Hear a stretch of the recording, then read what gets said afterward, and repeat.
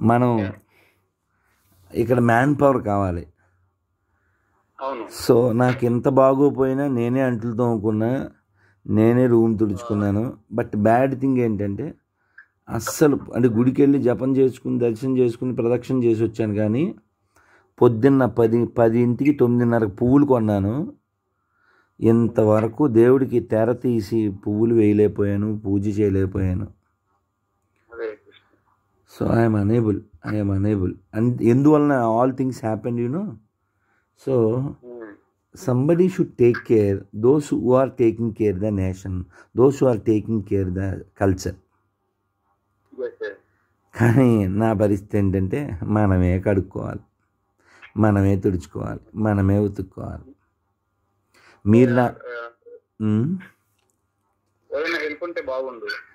So ఇలాంటప్పుడు కాదు. యాక్చువల్గా ఇప్పుడు నేను డాక్టర్ గారితో డిస్కస్ చేసిన విషయం ఏంటంటే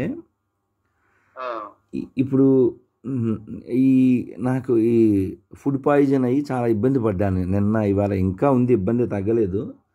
ఆ ప్రసాదం ఇచ్చేసాను తినకుండా. ఎందుకంటే తింటే మళ్ళీ ప్రాబ్లం కాబట్టి. డాక్టర్ గారేమో ఇప్పుడు కాదు ఏదో ఒకటి కొంచెం జావన్న తీసుకుని మెడిసిన్ వేసుకుంటే రేపు పొద్దున్న సెట్ అవుద్ది అన్నారు. ఇప్పుడు ఆ- జావ కాసేవాడు ఎవరు. మనం ఎలోను కదా. అందుకని ఈ సమస్యలన్నీ పోవాలంటే నాతో ఎప్పుడు ఉండే ఒక వంటవాడు ఉండాలి. అప్పుడు ఏమవుతుందంటే ఆ డాక్టర్ గారేమో మీరు పల్లీలు తినొద్దు మీరు ఆదిత్య శనగపిండి తినొద్దు అని చెప్తుంటాడు. కానీ ఆకలి వేస్తుంది మనం ఇంకోటి తినడానికి లేదు గుళ్ళో ఏదో ఏ రా- రాజమండ్రి ఇస్కాను హైదరాబాద్ ఇస్కాను తిరుపతి ఇస్కాన్లోను ఏ కార బూందీ ప్రసాదం ఉండి ఉంటుంది నా దగ్గర. ఆకలి వేస్తుంది లెక్చర్ ఇచ్చి ఇచ్చి. ఆ బూందీ కాస్త తిని ఏ మజ్జిగో తాగుతాను. అలా అలా కడుపు చెడిపోతుంది. సో మీరు మీరు నాకు హెల్ప్ చేయాలంటే రెండు విషయాలు హెల్ప్ చేయాలి. ఒకటి నాకు ఒక కుక్కు కావాలి. అలాగే రెండు నాకు ఒక కుక్క కావాలి. రెండోది ఏమిటి అన్నాను? కుక్క అంటే ఇక్కడ మామూలు కుక్క కాదు. నేను రోజు భగవద్గీతలు పంచాలి. ఆ పంచడం కోసం మనిషిని డివోటీని ఎంప్లాయ్ చేశాను. రోజుకి ఐదు వందలు పదిహేను పది నెలకు పదిహేను వేలు చొప్పున. కానీ మన వాళ్ళకి ధర్మం కంటే ఈగో ఎక్కువ కదా. సో ఆ ఈగో వలన అతను ఆగిపోయాడు. లాక్డౌన్లో అతను వచ్చి అప్పుడప్పుడు సేవ చేసినందుకు నేను అప్పుడు ఐదు వేలు అప్పుడు ఐదు వేలు దాదాపు మోర్ దెన్ వన్ ల్యాక్ ఇచ్చాను. అతని కోసమని ఈ భౌతిగీత కార్యక్రమం స్టార్ట్ చేశాను. అంటే అటు అతని ఫ్యామిలీ గడుస్తుంది ఇటు ధర్మము నిలుస్తుందని.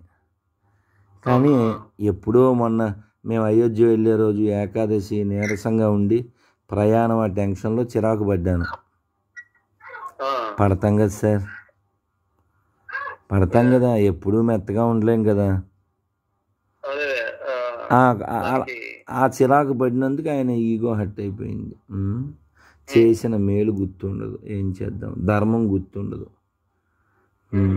మెచ్చుడు ఏం చేయాలి? ఇప్పుడు ఒక మనిషి నన్ను చూసుకునేవాడు కావాలి ఇంకో మనిషి భగవద్గీతలో పంచిపెట్టేవాడు కావాలి. ఈ ఎంప్లాయీస్లో ఎవరో ఒకరిని మీరు బేర్ చేస్తే నా దగ్గర ఎన్ని కాన్సెప్ట్లు ఉన్నాయో తెలుసా.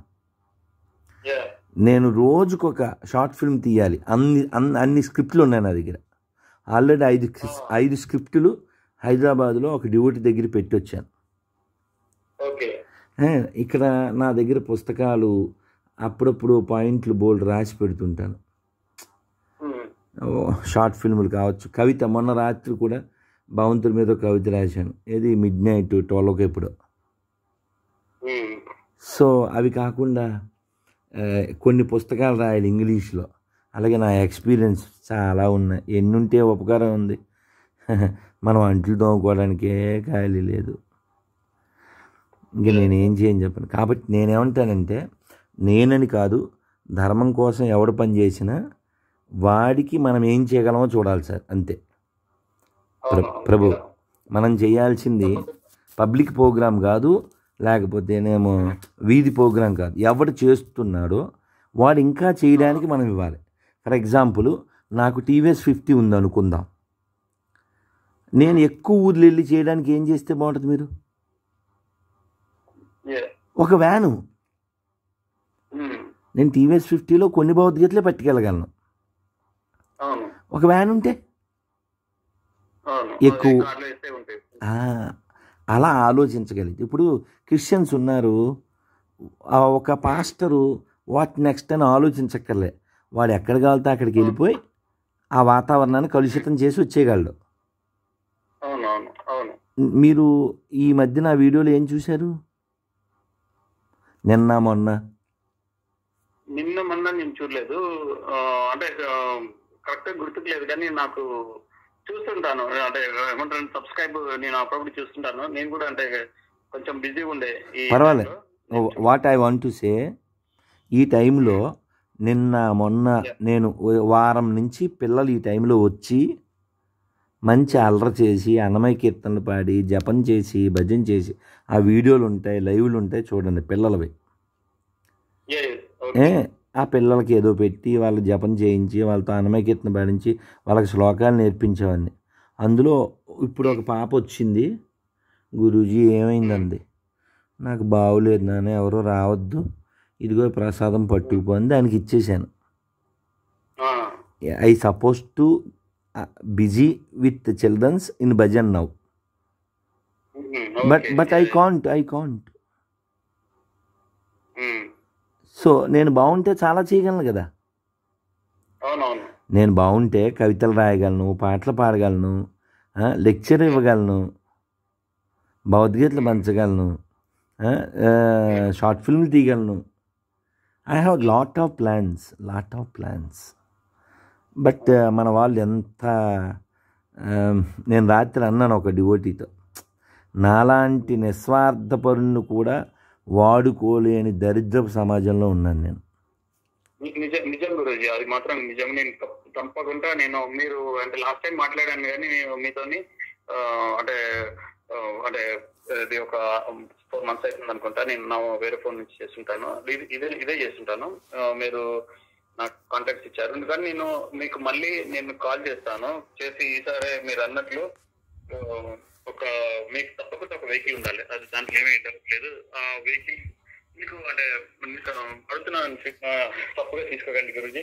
అంటే ఇక్కడ ఉన్న పరిస్థితిని బట్టి మీకు అంటే చిన్న వెహికల్ అయినా ఓకేనా కాదు నా ప్లాన్ చెప్తాను. చెప్పండి. నేను నా ప్లాన్ ఏంటి తెలుసా? రెండు రాష్ట్రాలు తిరగాలి. అవును. ఇప్పుడు నా కడుపు ఎందుకు చెడిపోయింది? నాకు ఫుడ్ లేక అది కూడా టైంకి ఫుడ్ లేక సరైన ఫుడ్ లేక నిన్న ఆ మాతాజీ చాలా మంచి ఆవిడ పెద్ద ఆవిడ. ఆవిడకేం వంట సరిగా రాదు. ఆ వండిన పదార్థాలు మాడిపోయినాయి. సరిగా ఉడకవు. ఆలుగడ్డకి తొక్క తీయదు. ఇప్పుడు నేను ఆ కామెడీ చేయలేను కదా. నేను డిపెండెంట్ కదా. ఆ పెట్టి ఆ పెట్టింది తినాలి. ఏ, దానికి తోడు నిన్న రెండింటికి ఆడు మహాన్యూషుడు ఫోన్ చేశాడు. ఫోన్ చేసి స్వామీజీ ఐదింటికి లైవ్ ఉందన్నాడు. వారిని మొహన్ సంతకెళ్ళా అని. అప్పటికప్పుడు గబగబా దేవుడికి పూజ చేసుకుని తిని కొంచెం ఒక ఇరవై నిమిషాలు నిద్రపోయాను. రెస్ట్ సరిపోలేదు ఆ ఫుడ్ బాగోలేదు రాత్రి కొట్టేసింది. లేకపోతే ఇవాళ ఆనందంగా తిరుమల వెళ్ళి సుందరకాండ పారాయణ చేయాల్సిన అలా పడి ఉన్నాను. నేను గురూజీ నేను అదే మీకు చెప్పాను కదా ఫోర్ ఓ క్లాక్ ఉంది ప్రోగ్రామ్. నేను ఆర్గనైజ్ చేస్తున్నాను. నేను ఆ, మీకు మళ్ళీ కాల్ చేయనా నేను